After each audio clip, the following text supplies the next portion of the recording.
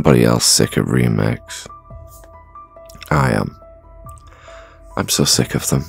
I'm sick of them because, barring the Dune franchise, I don't see any of these remakes being anything new. A remake of what?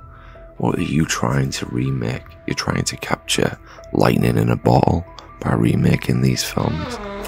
History has proven it is almost impossible to make a remake better, especially if it's based on something that has this much lore, this much love and respect. You do not touch something unless you know and you're confident I can bring something new to the mix.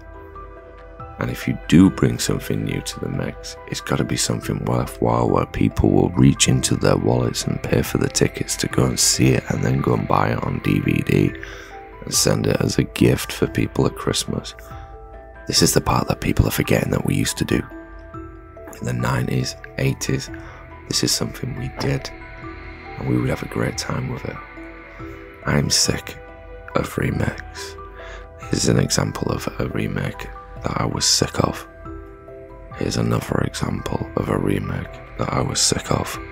There is another example of a remake that I was sick of. Do you see the pattern of these remakes? And for some weird reason, we keep getting these fucking remakes. That's all I wanted to say on this.